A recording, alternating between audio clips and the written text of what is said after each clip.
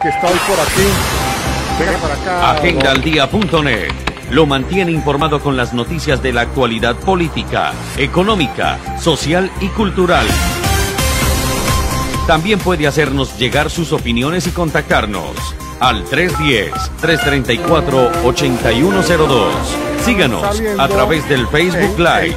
Estaremos en cada rincón donde se encuentre la noticia.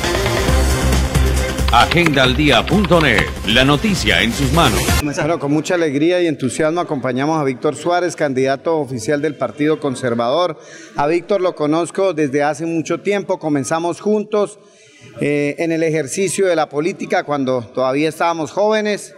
Eh, somos producto de ese trabajo constante y permanente del esfuerzo, de la, dedicación y del trabajo, de creer que es posible sacar adelante los sueños.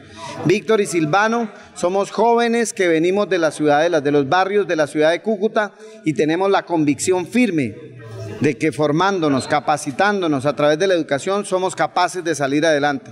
Queremos hacer equipo por Cúcuta, queremos hacer equipo por Norte de Santander para generarle oportunidades a la gente en nuestro departamento y en nuestra ciudad. Nos alegra que haya un equipo consolidado del Partido Conservador en la ciudad de Cúcuta con estas excelentes hojas de vida que acompañan a Víctor desde el Consejo Municipal y la lista de la Asamblea que nos representa de manera especial. Con todos ellos vamos a hacer equipo para alcanzar ese propósito de que el Partido Conservador salga fortalecido en compañía del senador Juan Carlos García, del representante Ciro Rodríguez, de las fuerzas que representan en Norte de Santander Pipe Corso como vicepresidente del Partido Conservador y toda la base conservadora que está aquí, no está en otro lado.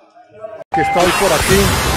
Venga para acá. Agendaldía.net lo mantiene informado con las noticias de la actualidad política, económica, social y cultural.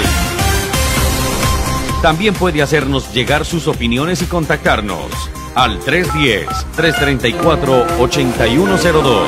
Síganos a través del Facebook Live. Estaremos en cada rincón donde se encuentre la noticia. Agendaldía.net, la noticia en sus manos.